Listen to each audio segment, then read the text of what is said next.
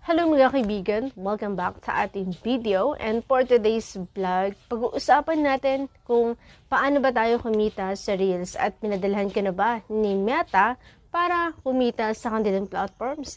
So, yan po yung pag-uusapan natin. Okay? So, ano ba yung dapat nating gawin? Dapat ho, at least meron kang 1,000 uh, followers sa inyong account And of course, dapat meron kang niche, okay? At yung pangatlo naman natin ay meron ka dapat na specific content na i-upload doon sa inyong FB Reels.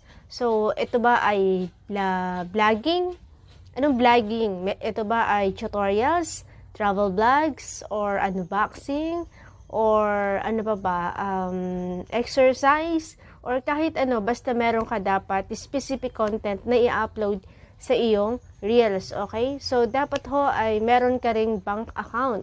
And, syempre, ang pinakahuli ay dapat wala pong violation ang inyong account. So, ibig sabihin lang nito, pwede ka na magsimula sa Reels at pag-upload ng mga video para kumita ka na rin dito sa Reels. Okay? So, sana mga kaibigan, nakatulong sa inyo ang video na ito. And kung nakatulong man, follow mo ko at isubscribe mo na rin ang ating YouTube channel. Maraming maraming thank you and more videos pa ang gagawin natin para sa inyo. Bye!